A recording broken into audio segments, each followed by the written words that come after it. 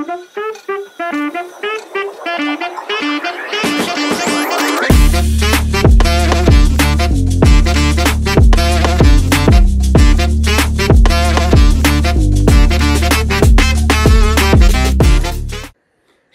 VC. Vinyl Groovers here back again. Uh, putting another, another spotlight on again, one of my favorite hip hop groups of the 90s, De La Soul. Again, they are re releasing their entire catalog on vinyl. Um, they have quite a few albums, but those very early albums were the ones that were most impactful and we all embraced wholeheartedly, particularly those that love hip hop music. Stakes is high. This is the album. I mean, they have Buhloone Mindstate, they have Grind Date, they have Me, Myself, and I. Um, De La Soul is Dead. These are all great albums. Stakes is High, in my opinion, is probably their most important album. Maybe not as their most popular, but definitely their most important album. They had a, this is where everything really just came together.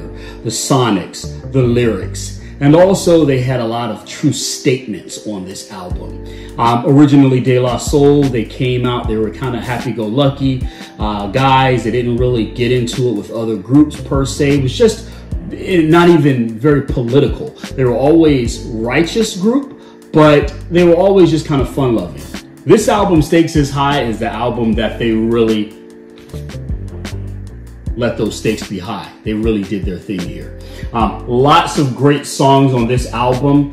Um, you know, I, I, mean, I can just go through the list. My favorite is probably considered a more of a, a B-side track. Um, it's called Long Island Degrees. And obviously they are from Amityville, Long Island, New York. But basically the song is just about representing where they were from, but also kicking knowledge and wisdom. I mean, there there's so many great tracks here. Of course, Stakes is High is up here, um, which of course is the title track. Um, I, I love this album. It's so easy. That's another big track on this album. And rest in peace to Dave Jolicoeur. He actually was the lead vocalist on that album. Now, on many De La Soul songs, Plug One Posdnuos was the lead, but Dave took the lead on that track, and it's probably, in my opinion, between Long Island Degrees and It's So Easy, probably the, the, the two best songs on this album. But I mean, this album is, is legendary. I wanted to share this with you. Um, beautiful album. Um, the Business, that's another great track that's on this album. My opinion, if you are unfamiliar with De La Soul or you kind of want to get to know about De La Soul, this is the album you want to get. Um, this is an unwrapping, as I mentioned.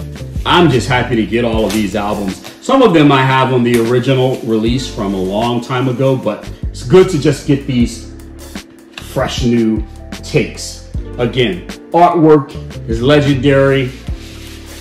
De La Soul stakes is high. Wanted to share this with you. Again, if you are unfamiliar with De La Soul, I highly recommend this is the album that you just want to dive into because this is really when they reached that crescendo. They they really they really got it here.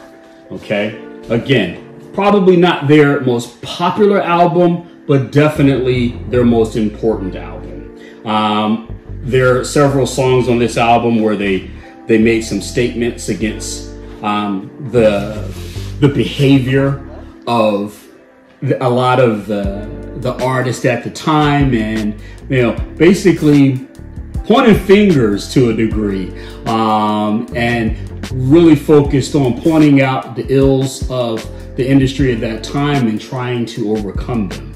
Um, very good, very good album here.